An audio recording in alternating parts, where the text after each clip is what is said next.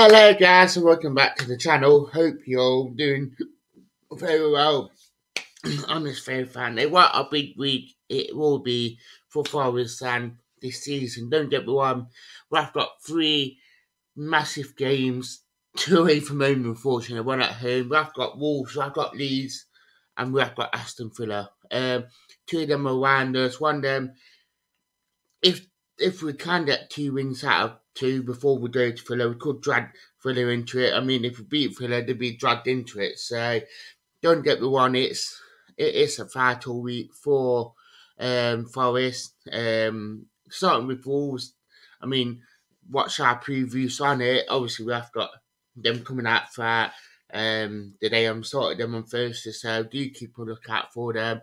Um, obviously, it will be a very, very massive their um, game. Um, it, home form will be massive for us, and we get something out of it. Then, I mean, it'd be massive for us to actually uh, get the three points against um, Wolves. Obviously, Leeds win that rearranged game from back in September.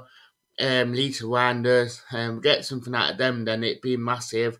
Keeps them in it, and we get that bit more of a um, that space between us again, in which we did have um, Villa away, Villa away will always be because of um, how um, they are away uh, at home and Unai Emery has got them organised, so they won't be an easy. The Deaf Arsenal won for the money earlier in the season, so don't get one.